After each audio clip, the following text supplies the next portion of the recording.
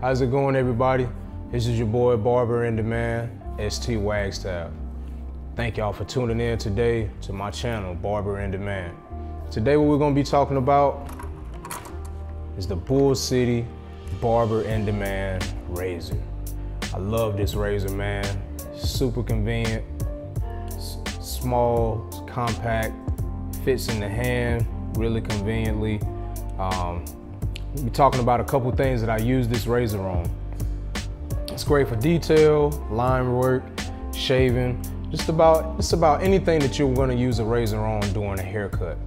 Um, so today, let's go ahead and move forward with the video. So I'm to show y'all a couple small details about the razor today. Um, one of the first things is, if you notice, this razor doesn't have a handle on the back. As well as if you notice, it has two holes for finger, you know, for finger uh, comfortable setting. Um, I use this razor, I hold this razor like this. Uh, it's a couple different ways that you can use it. However, it, it, it takes for you to feel comfortable while you're shaving. Um, also, if you notice here, um, on the inside, the inside here is a place for you to hold your razor, uh, as well as the back swing arm. Um, it splits here. It's held together by one screw. Um, it holds together with a Phillips head screw, as well as a nut on the front side.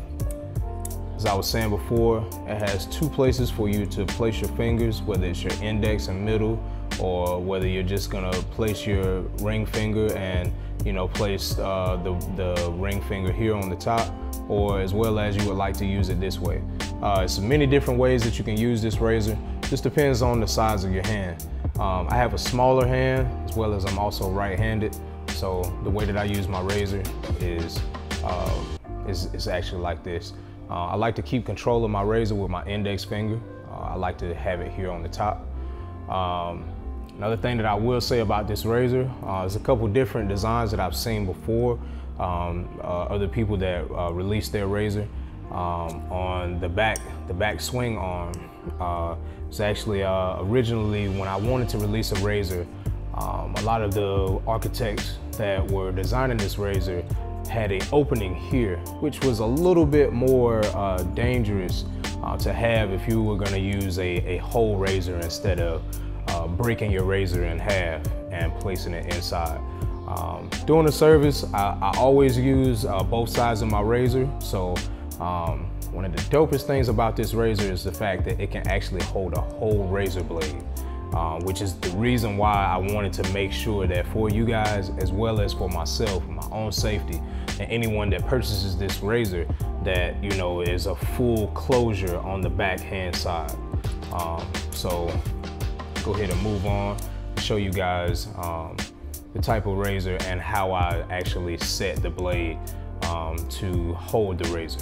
Um, one of the first things in opening your pack um, here uh, what you will receive is a case just like this.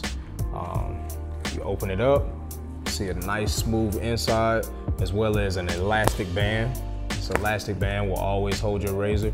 Um, pretty much in, in preserving the life of the elasticity of the band on the inside, I'm always gonna make sure that I slide my razor right through uh, the inside here um, this way in this manner instead of going from the back. Because you know you want to make sure that you know when traveling and stuff like that that your razor's not going to move around um, too much.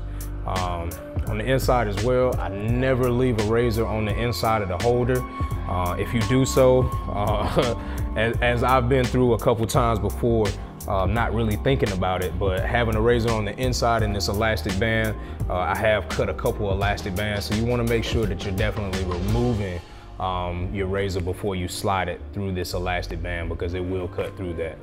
Um, secondly, um, when opening the razor, when taking it out of the actual elastic band itself, one of the first things that I do to make sure that the razor is actually gonna be able to hold its blade, um, I open it up here, hold it in this manner. I'm gonna take both fingers, index as well as uh, middle finger if you need to, and you're gonna squeeze the front side of the blade right, right here of the swing arm. And you're gonna squeeze and you're gonna make sure that both of those are touching like this without a razor on the inside when you're doing this because you can really, uh, really hurt yourself.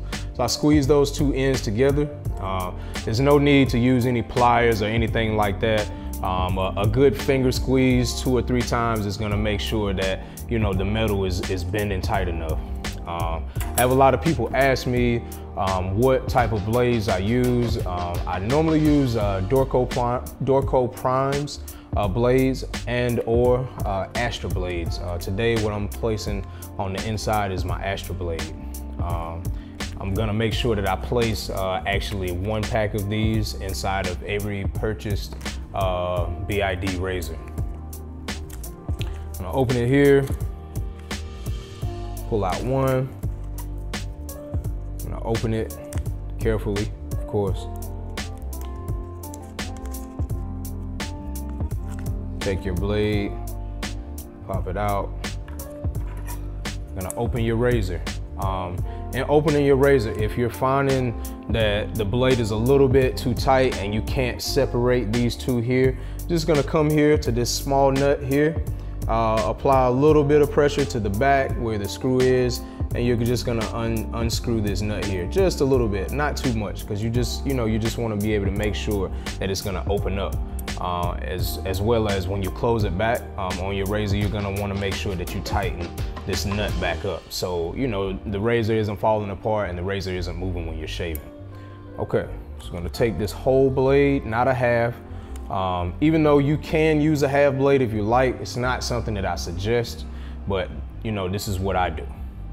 I'm taking, I'm gonna place this blade on the inside in this groove here. So not the small grooves, but in the kind of diamond shaped groove uh, right here on the inside. Um, you have two raised uh, metal dots here in which that's what your blade is gonna sit on. I'm gonna take this, I'm gonna try to make sure you guys can see this really good. Um, I'm gonna take this and you're gonna sit it on those two grooves. For exposure, because I always shave with an exposed blade, it gives me so much more detail and actual visibility when I'm doing a design or a razor cut or a full facial shave or a head shave or even if you're just texturizing your client. There's so many different things that you can use this, this blade for on a haircut, whether you're a barber or a stylist. So stylists, don't think that because you're not a barber or because you're not doing razor facial shaves, that you can't use this to texturize some of your lady clients' hair, okay? So I'm gonna take this blade, I'm gonna slide it all the way down, just like this, to give that maximum exposure for detail.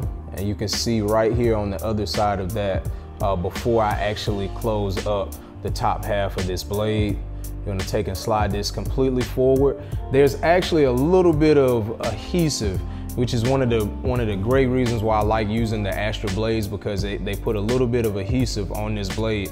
So it's actually gonna kind of stay in place for you as you're closing that blade.